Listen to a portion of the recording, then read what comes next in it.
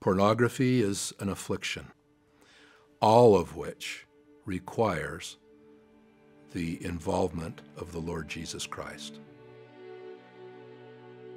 This is how we overcome our afflictions, along with programs that are out there, both in the church and in the world. One can never get away from the need to have a personal relationship with the Savior. This is what His atonement is all about. His atonement is about Him taking upon Him the transgressions of you and me, and Him providing a way to be forgiven of our transgressions. My promise is that if they will invest some of their time to know our Savior better, I promise them that they will love Him more by knowing Him better.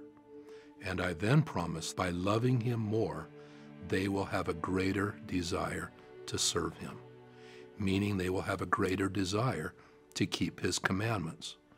It requires an investment in knowing who our Savior is, knowing what the atonement and these big words are repentance, forgiveness. Study them. You have personal study time. Read what the Savior and the prophets say. The more you do, the deeper your love for our Savior will become. The more you love Him, the more you will desire to follow Him. And with that simple formula, uh, I've seen many overcome transgression, understand what repentance is, and understand the, the wonderful gift given to all of us, because we all need it, of being forgiven and feeling forgiven.